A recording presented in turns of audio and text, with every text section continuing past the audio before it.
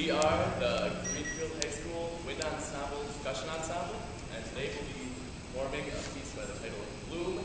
And this song was arranged by myself uh, using a program called Guitar Pro, uh, nearly every instrument learned by ear. I think you'll be impressed how a metal band can, can end, be so melodic and fun to play.